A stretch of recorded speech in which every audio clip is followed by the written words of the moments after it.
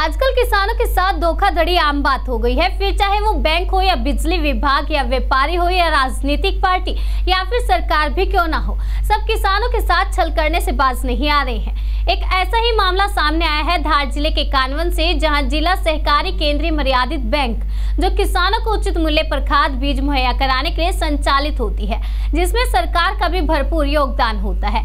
लेकिन यहाँ से भी किसान अपने आप को ठगा सा महसूस कर रहा है। आपको बता दें कि कानवन सोसाइटी से किसान रतनलाल ने 50 बोरी सुपर खाद लिया, जिसको घर पर वज़न किया तो हर एक बोरी में माल की मात्रा 5 से 11 किलोग्राम कम निकला। जब हमने सोसाइटी प्रबंधक से बात की तो उन्होंने भी खाद की मात्रा कम होना कबूल किया और कंपनी की गलती कहकर पल्ला झाड़ लिया।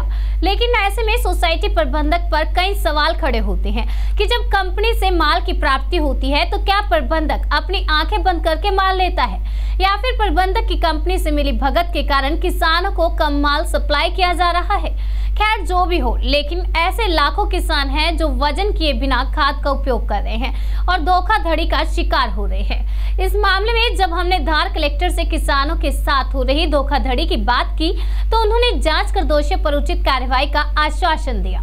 क्या अब यहाँ सोसाइटी खाद नहीं गए क्या कह? रहे हैं क्या? हाँ सर पचास बोरी खाद ले गए थे हम शुक्रवार के रोज रविवार के रोज हमने जब घर जा घर ट्राली में से उतारने लगे तो ऐसा महसूस हुआ कम है बोरी में खाद तो हमने कांटे पे लगाया तो वो सैंतीस किलो ने सी तो 21 बोरी हमने कुल बोरी का 21 किलो बोरी का वज़न किया तो उसमें से एक बोरी 50 किलो की निकली और बाकी सब वज़न उनमें सब पैंतालीस चुम्बालीस इकतालीस बयालीस सैंतीस अड़तीस किलो ऐसा निकला। कितने कितने रुपए का माल ले गए थे? ये करीब पंद्रह हज़ार ऊपर का है। शिकायत की शिकायत करिए बस आए वो कल सोसाइटी तो बंद थी आज आए शिकायत के लिए। कल रविवार रविवार था ना सर? हाँ।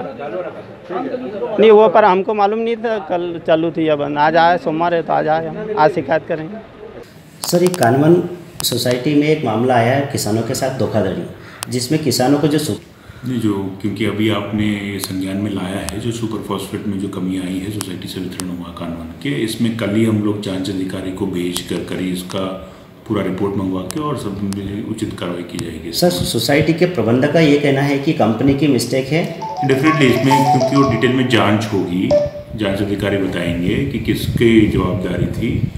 अगर सोसाइटी वहाँ से कंपनी से मिला है तो इन्होंने तोल के लिया है इनको तोल के दे रहे हैं। ये सारे जो बहुत सारे चीज़ें हैं उसकी जाँच हो जाएगी तो उसी तो सर इसमें सोसाइटी को भी क्या दोषित मानते हैं आप? नहीं डेफिनेटली इसमें पहले तो कार्रवाई तो आ जाए। क्योंकि वो प्रकरण डिटेल में कार्रवाई होगी तब भी जाकर अच्छा सर इसमें क्या है कि जिन लोगों ने किसानों ने यूज़ कर लिया है खाद का इस्तेमाल कर लिया है उनको मुआवजा फिर किस हिसाब से मिलेगा अगर ऐसा पाया जाए सर? डेफिनेटली ये सारे जो है उसमें डिटेल में पहले इंक्वायरी हो जाएगा। कल ही मैं किसी इसीलिए मैं कल ही इसको भेजूँगा।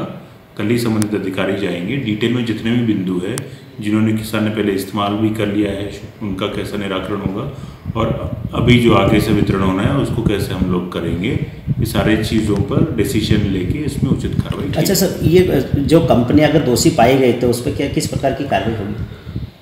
डेफिनेटली उसमें जो भी प्रावधान है उनके खिलाफ कार्रवाई करने का चाहे चाहे वो ब्लैक लिस्टिंग का हो या जिनके पास भी अथॉरिटी है उसमें उचित कार्रवाई करेंगे डेफिनेटली हम लोग कार्रवाई करेंगे। यहाँ पर किसानों के साथ धोखाधड़ी की शिकायत हमारे पास लगातार मिल रही है और ऐसे में हम आए यहाँ के प्रबंधक सोसाइटी के प्रबंधक उनसे बात करते हैं कि किसानों के साथ धोखाधड़ी हो रही है उसके बारे में उनका क्या कहना है प्रबंधक साहब किसानों के साथ धोखाधड़ी हो रही है आप क्या कहेंगे? कदड़ी बिल्कुल नहीं हो रही है। शुरू सुपर खाद कम निकला है वो वो क्या जो माल दिया जा रहा है उसमें दस से पंद्रह किलो माल हर बोरी में कम आ रहा है। इस पर आप क्या कहेंगे? जो एग्रो खाद कृषि समृद्धि का जो सुपर खाद है उसी में शिकायत मिली और इस कंपनी को उन्हें शिकायत कर चुके हैं। बाकी हमारे डिपार्टमेंट को अभी करना है।